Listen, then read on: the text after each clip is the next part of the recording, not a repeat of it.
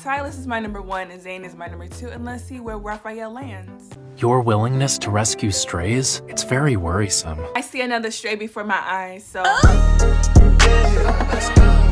oh sorry I'm late. he gotta be joking. He has to be joking. Do you know what time it is?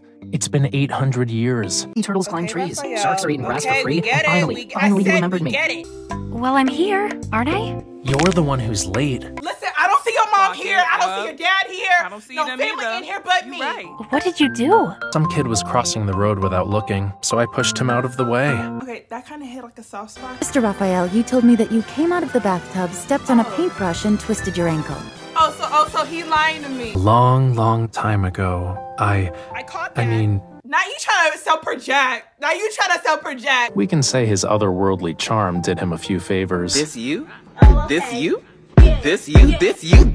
Don't just disappear ever again, okay? But I didn't disappear. I didn't dis. I showed up. Swear. You doing too much. No, your human vows are never reliable. We do it my way. What does he want from me? What does he want more from me? Close your eyes. I will never make Rafayel wait for me. I would opened my eyes like, yo, you serious? I get out in two days. Pick me up. And remember, don't be late All again. right, since we did Sylus, we did Zayne, we did Rafayel, we have to do Xavier next. So stay tuned. Also, I keep seeing comments saying, wait until you meet Caleb. Am I supposed to be worried? Should I record it? I'm at chapter four.